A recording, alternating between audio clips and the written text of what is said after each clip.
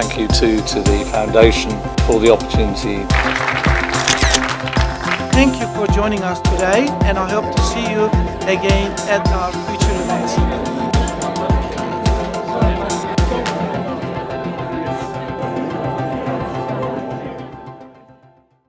Good afternoon. I just want to introduce myself. Uh, my name is Jim Mein. The Mein is spelled M-E-I-N as in chow mein. Now you know my nickname.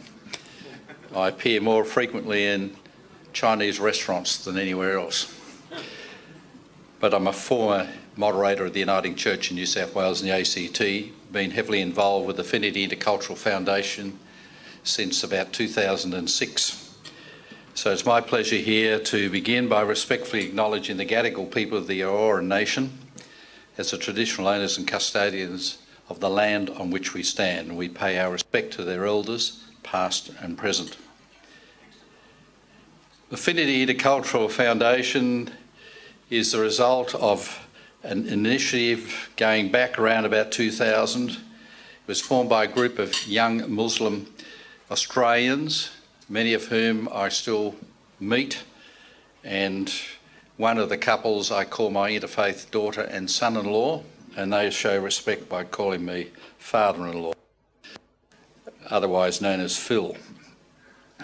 But their aim is to promote.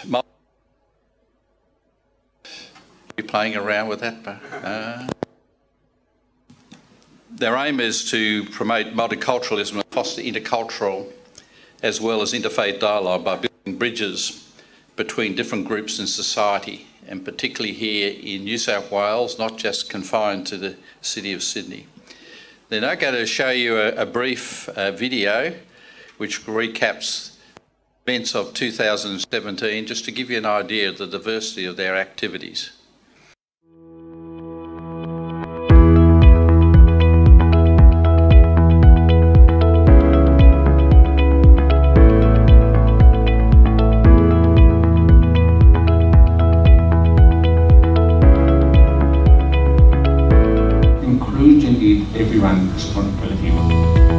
Australia is a warm, welcoming, open country. Having respect for all people, regardless of race, regardless of religion, regardless of gender, and very, very importantly, regardless of a, the colour of a person's skin. People of all kinds are, are seeing the differences, I think, a little more clearly.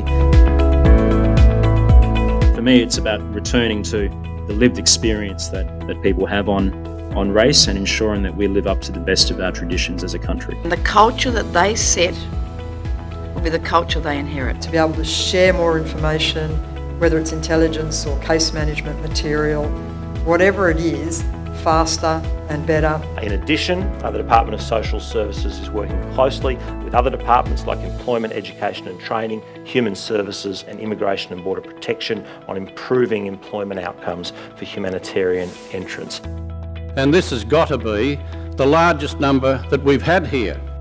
The night is about you and us uh, and as a community. Learning from each other, that's what Australia allows us to do. We are working together to make New South Wales safer. In fact, we have done that for many, many years. As we've come from so many other lands that we were able to meet here as one. We are the most culturally diverse country in the world. Uh, we all learn a little bit more about ourselves and about our community.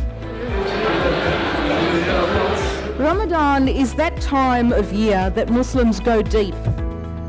They reset the clock, take extra time to consciously reflect on their lives and reaffirm their commitment to God and to the precious bonds that connect us all as family and brothers and sisters in humanity. Courage, you know, dedication, you know, um, mateship sense of a sense of fairness. What we have seen and experienced by words and music this evening are the sort of things that hold us together and enable us to move forward together. Thank you for joining us today, and I hope to see you again at our future events. Thank you so much.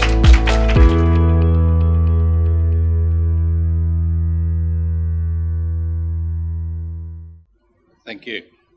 I'd like to introduce today's facilitator, Professor Iain Benson. I haven't met Iain before, but I've had a delightful brief lunch to catch up with his background as a professor, a barrister, a practicing legal consultant, specialising in pluralism and human rights, with a particular focus on law and religion. He was co-drafted the South African Charter of Religious Rights and Freedoms in 2010 and has been a consultant to governments and organisations in a variety of countries. As a barrister, Iain has appeared before all levels of court and his work, that's on the right side of the bench, on all levels of the court and his work has been cited by the Supreme Courts of Canada and the Constitutional Court of South Africa. Author of over 40 academic books and articles, he is an extraordinary professor of law, University of the Free State of Bloemfontein, South Africa, and he's visited been a visiting fellow and professor of universities of Toronto and Western Ontario. He divides his time between Australia, where he now lives, and France, South Africa, and Canada, and the latter two of which he has appointments. In other words, we would call you in, in Australia the lucky star of pluralism. You've been everywhere, man. Uh, but welcome to be the facilitator today. Thank you.